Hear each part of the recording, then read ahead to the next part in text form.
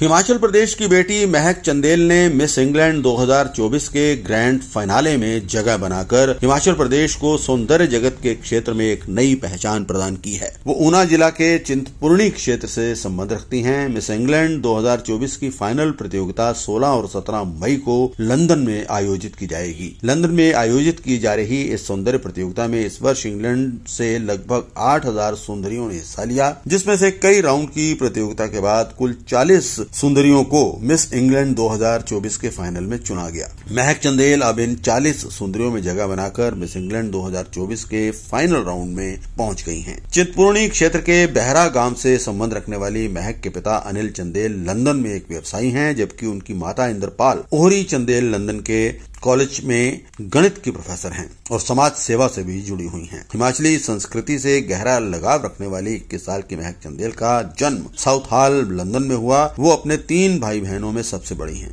Criminology में स्नातक की डिग्री ग्रहण कर चुकी हैं। महक इस समय स्कूली बच्चों के लिए भी काम कर रही हैं। अभी तक मॉडलिंग में अपना सिक्का जमा चुकी महक चंदेल समाज सेवा में भी गहरी रुचि रखती हैं